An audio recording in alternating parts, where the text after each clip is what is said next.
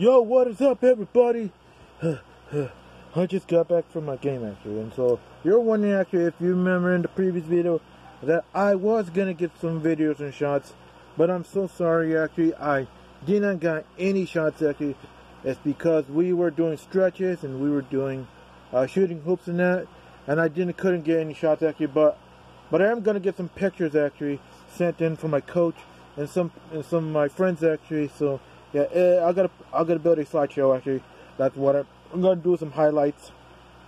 So yeah, so and this Monday actually, I hope I might get some shots this Monday. If not, I'll do more highlight pictures.